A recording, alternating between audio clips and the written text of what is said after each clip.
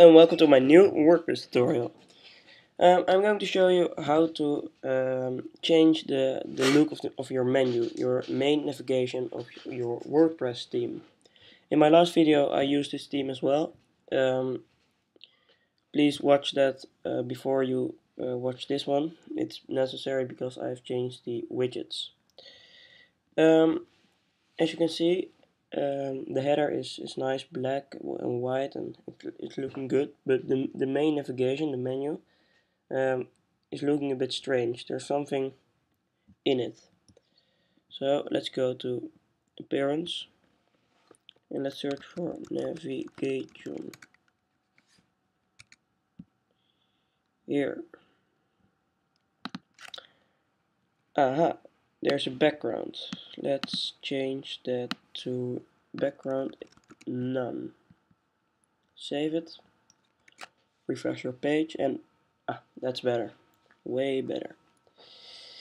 Um, you can change the links in menu. Um, go to home. Select just sorry.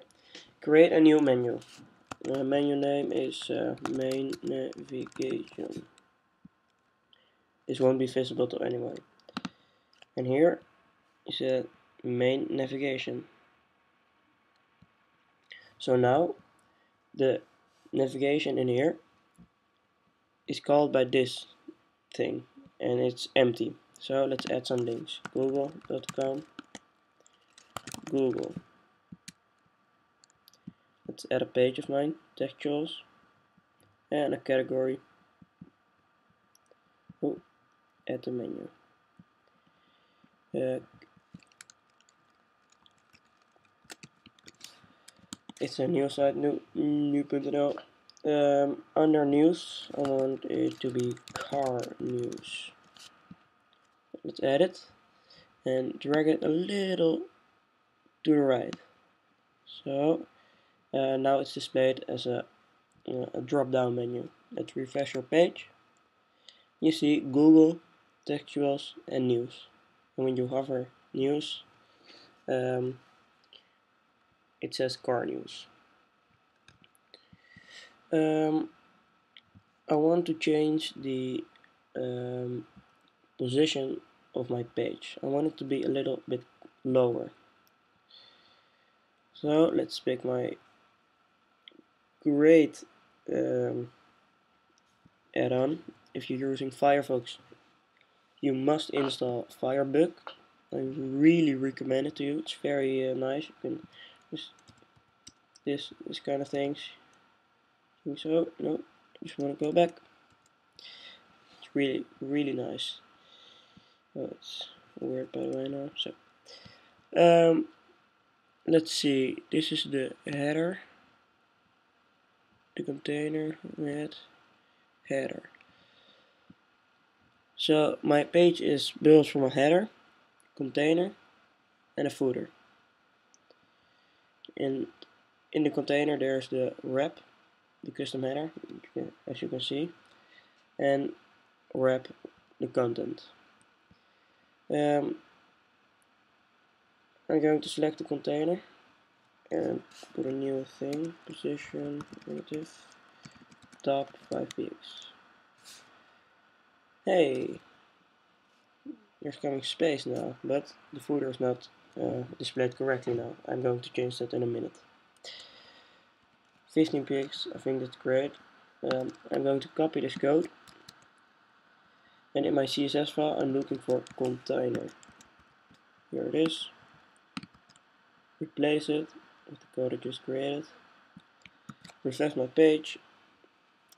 And it stays the same. Um, but the footer is not being displayed, displayed correctly now. So let's Firebug footer. Um, and let's add margin top 5px. No, it's not working. Position uh, relative 5px. Oh, sorry, top 5px can see now it's going down but there's a white thing behind my footer. Let's see what's that. Foot. Ah. So in foot, I'm looking for foot in my CSS theme. Foot. And let's this to none. And my footer. Position relative. That's a, a HTML code. Uh, top um, 5px oh no I just do like 15 let's see. Now it's displayed correctly again.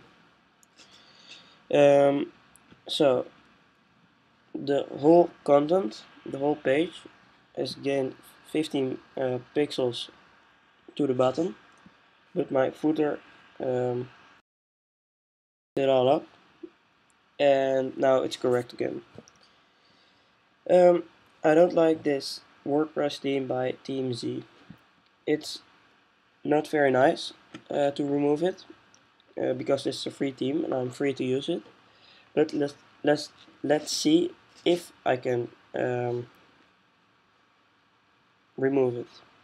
Let's see footer.